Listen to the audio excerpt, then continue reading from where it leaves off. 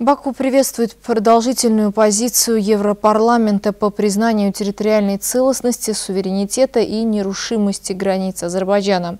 Так прокомментировал принятие Европарламентом документа о признании территориальной целостности стран Восточного партнерства помощник президента Хикмет Гаджиев.